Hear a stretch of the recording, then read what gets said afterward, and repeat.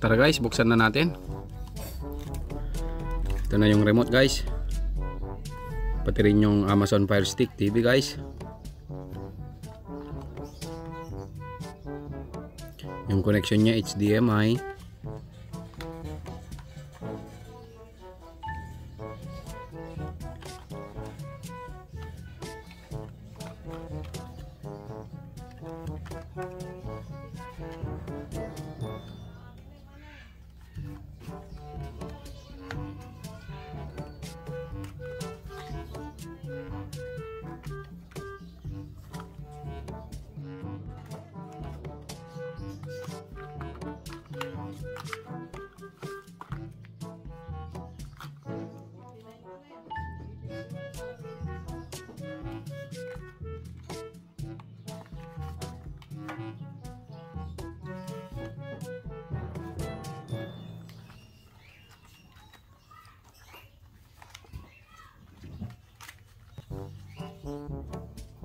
Meron din kasamang battery guys para sa remote niya. At saka yung power source niya guys.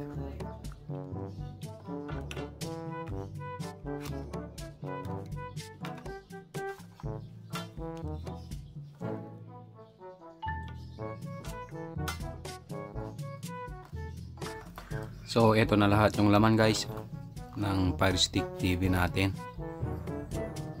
I tara, setup na natin guys.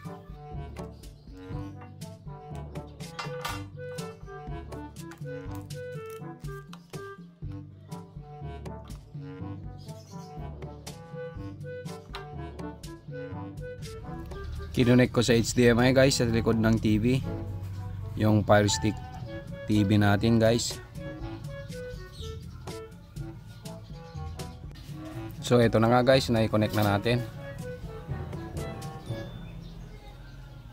Piliin lang natin yung language guys, English yung pinili ko.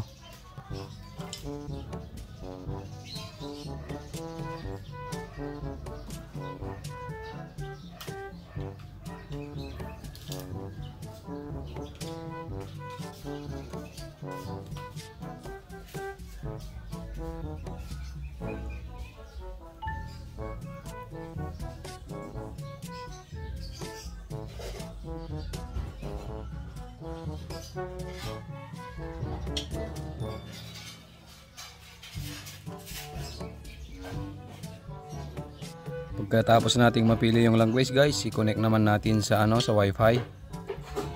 Iskal lang natin yung Wi-Fi network natin guys. Tsaka natin ilagay yung password natin ng ating Wi-Fi.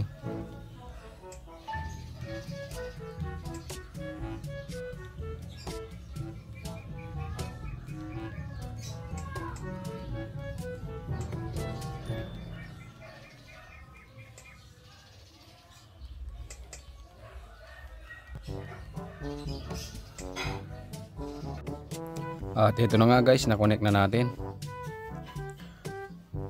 I-continue lang natin yung mga sinasabi niya guys. Sundan lang natin yung instruction niya guys.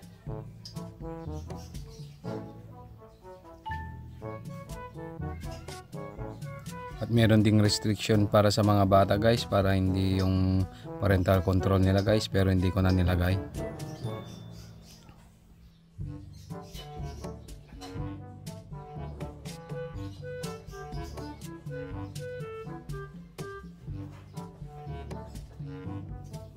Meron ding sound test guys. Yung Fire Stick TV para alam natin yung mga volume niya kung gumagana ba yung ano guys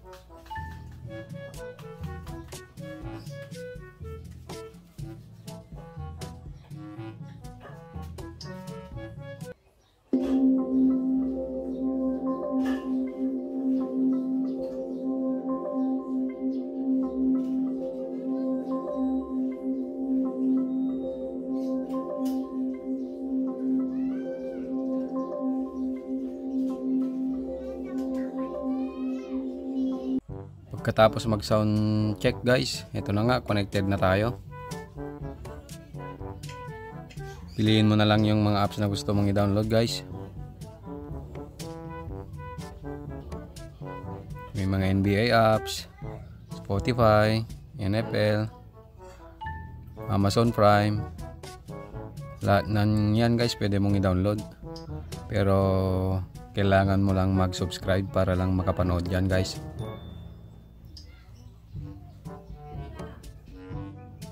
Madaming pagpipilian guys para lang makapanood dyan guys. Madaming apps. Subukan natin manood guys. Yung TV natin naging smart TV na kahit nawala itong wifi or ano basta meron kang Amazon Fire Stick TV nagiging smart TV na siya guys. Subukan nating manood sa Netflix guys ng movies.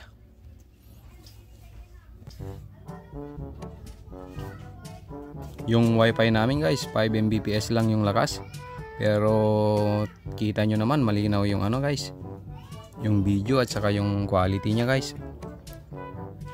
Hindi siya nagbabuffer. Kayang kaya yung 5 Mbps lang na wifi connection guys.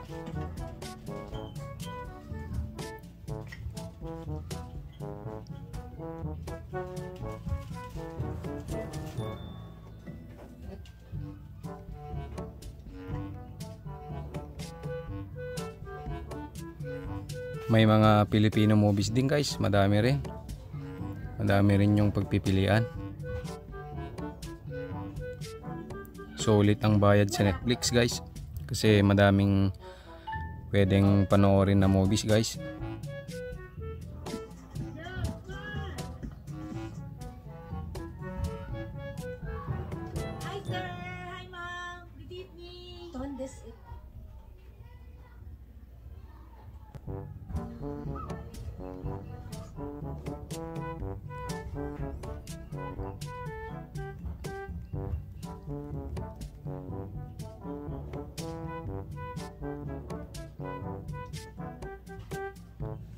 Try natin i-continue yung pinanood natin guys, Army of the Dead.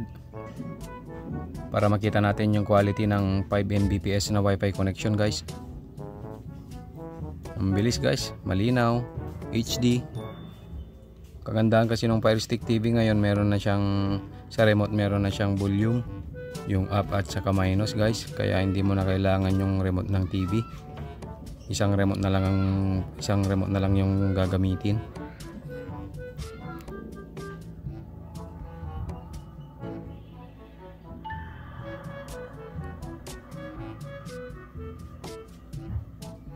So yun guys, salamat sa panonood. Kung bago lang po kayo sa aking munting channel, sana po ay mag-subscribe po kayo. Maraming salamat po guys.